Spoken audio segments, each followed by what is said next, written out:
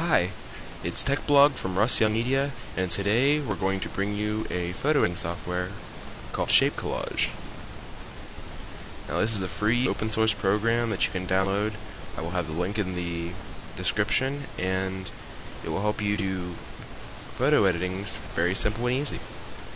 Um, you can use this to make any, basically any kind of photo collage thing you want. You can do rectangles, squares, circles, whatnot. You can make things for your girlfriend, letters, whatever. So you, all you need your photos. You take them, drag them into your drag photos here area. And then you pick what kind of shape you want and the dimensions and everything. It's very simple and easy to use. I'll show you how to use it really quickly here. Um, I'll choose rectangle for a desktop bound, I'll change manual to 1440 by 900 because that's my desktop size. And then I will choose the photo spacing. I'll throw it up to 78. I'll throw a preview in to see how they will space each other. And I can either create or mess with other options. Like there's appearances, you can choose how you want your photos to look. You can actually make them look like photos like this. You can get rid of the white background. You can add another photo in the background. I usually like the photo in the background, or the photo look. So you can also go into advanced. It shows you how to how to do the rotation and the shadows and everything. If you want no shadow, you can just throw off the shadow. It really doesn't show you in a preview. But and each time you render the preview, it will come out looking different. So you know when you create it, it will come out different each time. So if you don't like it first time, you can redo it, redo it, redo it, ever. So then you click create, and the save option will pop up. You can either save as a JPEG, PNG, or you can save it as a PSD. That way, so if you want to edit it further and you do have the photo editing skills, you can go into Photoshop, mess around with it. Each photo is in its own layer, so it's really easy and really simple to use. And yeah, so this has a JPEG. I'll call it Demo BG.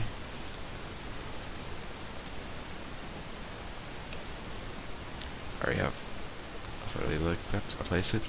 I'll say the quality out as 80. We don't want anything too high for our desktop background. It's not really that important. So I'll save that out.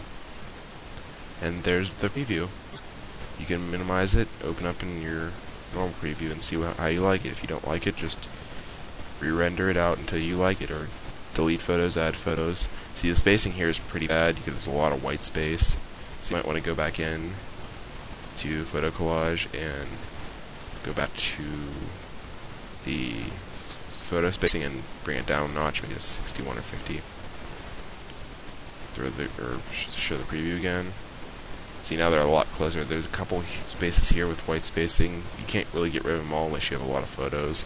If you have a lot of photos, you want to space them out a lot more. Like, you might want to space them out like this. See, that's really enough for a couple, a couple photos. You can also do it out as letter. Say you want to say, this is from Tech, these images are from Tech 09, so you can throw in 09 and do the preview. Uh, this isn't going to work only because I Actually, it doesn't look too bad. You can roughly see the 09, but you probably want to jack the spacing down a teeny bit. Maybe throw it down to maybe 90. Pretty good out. See it closer together. You still can't make it out too well, but it's you get the point. If there, you had more photos, it would look nicer.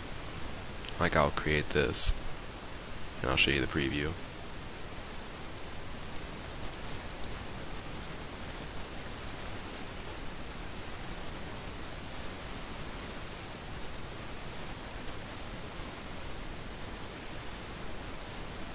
See? All the images from my tech are shaped in the, the 09.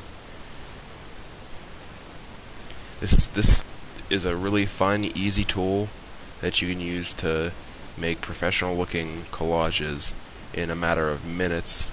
If you have photo editing skills or not, it's a good program for both. Because you can, even if you don't like exactly how it does it, you can redo it, it'll re-render it out, or you can go into Photoshop and edit it. It's very compatible. It's I believe it's running on both platforms, uh, Mac and uh, PC. Um, that's about it. I that's tech blog for today, and come back.